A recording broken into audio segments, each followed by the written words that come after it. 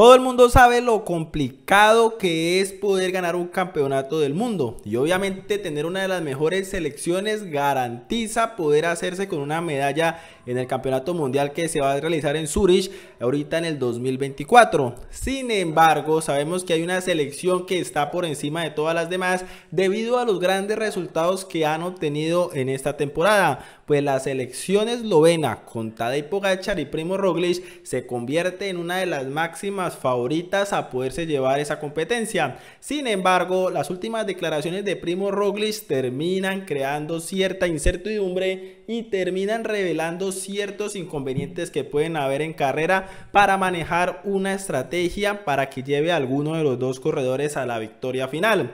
Habría que esperar cómo se la van a jugar estos dos corredores qué van a hacer para poder alinearlos con un mismo fin y poder conseguir la medalla de oro en el Campeonato Mundial de Ciclismo de Ruta 2024. Y en una segunda noticia tenemos que hablar de un tema fundamental y quiero que hablemos del récord que puede conseguir el propio Renko En esos mismos campeonatos del mundo, sabiendo que tiene dos oportunidades muy claras de volver a brillar y tratar de conseguir las medallas de oro y hacer algo que muy pocos ciclistas o ninguno ha podido hacer. Coronarse campeón olímpico y campeón mundial en la misma temporada. Así que hay varias cosas para estar ahí en la disputa y varios temas de los que tenemos que hablar. Como siempre mis amigos, recomendarles que se suscriban aquí abajo al canal, dejen su me gusta, saben que estamos luchando fuerte con el algoritmo para tratar de volver a tener el alcance que siempre ha tenido este canal de Sin Cadena y volver nuevamente a hacer un canal que brille y obviamente lleguen muchos espectadores a enterarse de todas estas noticias.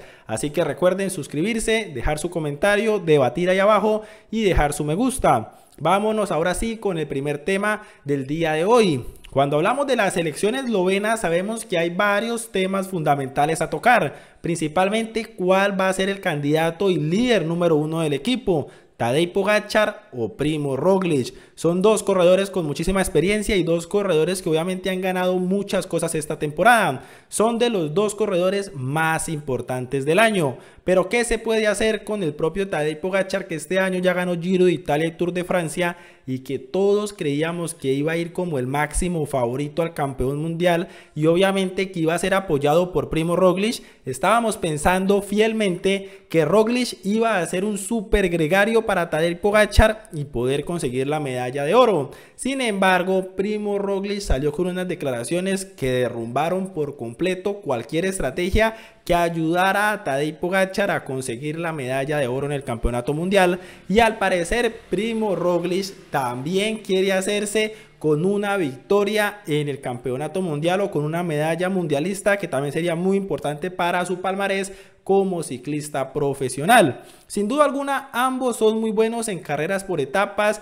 o en grandes vueltas, siempre teniendo a Tadej Pogacar un paso por encima de Primo Roglic y cuando hablamos de clásicas de un solo día como lo puede ser el Campeonato Mundial, sin duda alguna Tadej Pogacar es mucho mejor que Primo Roglic en ciertas circunstancias y obviamente en una etapa como la que va a haber en el Mundial Tadej Pogachar podría sacar una ventaja indiscutible sobre Primo Roglic. Pero ¿qué debería hacer la selección eslovena? Obviamente es muy difícil controlar un corredor de estos porque sabemos que los que realmente mandan estos corredores son los equipos y en la selección pues simplemente cada uno podría ir a buscar un objetivo individual. El propio Primo Roglic respondía a la pregunta de la siguiente manera: No puedo hacer, no puedo hacer ninguna predicción los recorridos, tanto prueba de contrarreloj como la competencia de ruta, me convienen. Es decir, Primo Roglic en ningún momento dice que va a ser un gregario de lujo de Tadej Pogachar, en ningún momento dice que va a ser un corredor que vaya a ir al campeonato mundial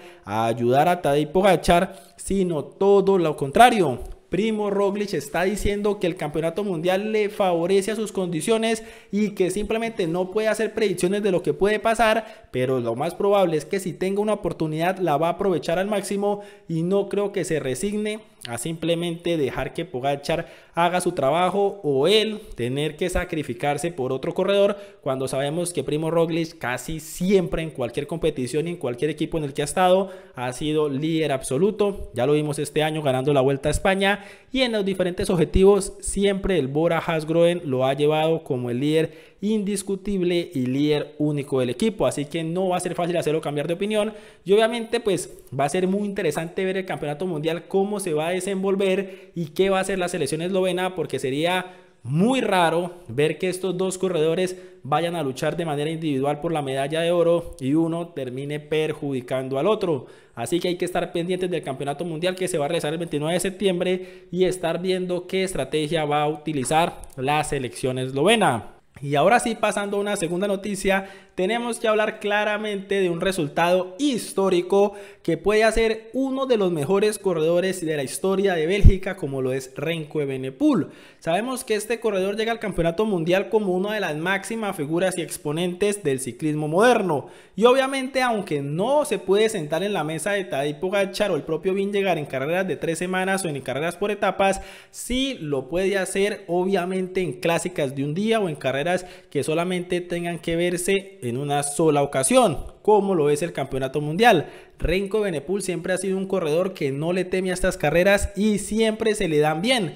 Ya lo hemos visto ser campeón del mundo en 2022 y obviamente le apunta este año a repetir nuevamente ese objetivo. Sabemos lo importante que es para la Federación de Bélgica, obviamente para su equipo el Cueste Subdal y para él mismo seguir agrandando su palmarés convirtiéndose en campeón del mundo. Por eso mismo tiene muy cerca cumplir un objetivo que solo se puede hacer cada cuatro años. Hace poco en las Olimpiadas que se realizaron, el propio Renko Benepul consiguió la medalla de oro en los Juegos Olímpicos de Contrarreloj y la medalla de oro en el ciclismo de ruta. Ahora meses después va tras el mismo objetivo pero para el campeonato mundial. Allí va a ser algo más complicado, pues se va a encontrar con rivales demasiado fuertes y sabemos que la primera opción que tiene clara de convertirse en campeón mundial de crono será el próximo 22 de septiembre donde tendrá un rival fundamental que va a ser el italiano Filippo Gana. Ya el propio Renko Benepul ha sabido derrotar a Filippo Gana en varias ocasiones, pero va a ser muy interesante verlos competir en esos 46.1 kilómetros que hay en la etapa de crono y ver qué tan fino llega Renko Benepul a esa especialidad y si se le logran dar las cosas de convertirse en el mismo año campeón olímpico y campeón mundial. Prácticamente estaría rompiendo cualquier registro anticipado, cualquier registro que se haya visto en la historia, pues Renko se estaría convirtiendo prácticamente en uno de los mejores ciclistas de todos los tiempos. Además de esto, también le podría apuntar al Campeonato Mundial de Ciclismo de Ruta, donde él ya en varias ocasiones ha dicho que se siente bien y que le cae como anillo al dedo esa carrera. Así que la batalla va a ser simplemente espléndida y hay que estar todos muy pendientes de lo que logre pasar. Así que mis amigos, déjenme ahí abajo en los comentarios qué piensan al respecto de lo que puede pasar entre Primo Roglic y Tadej Pogachar. Cada uno debe ir por su lado o Roglic debe apoyar a Pogachar. ¿Y qué piensan de Renko Benepul? ¿Será que puede conseguir ese récord de ser campeón olímpico y campeón mundial en el mismo año? Muchas gracias por ver este video. Recuerden dejar su me gusta, comentar. Hay que romper el algoritmo. Y ya nos veremos en uno próximo.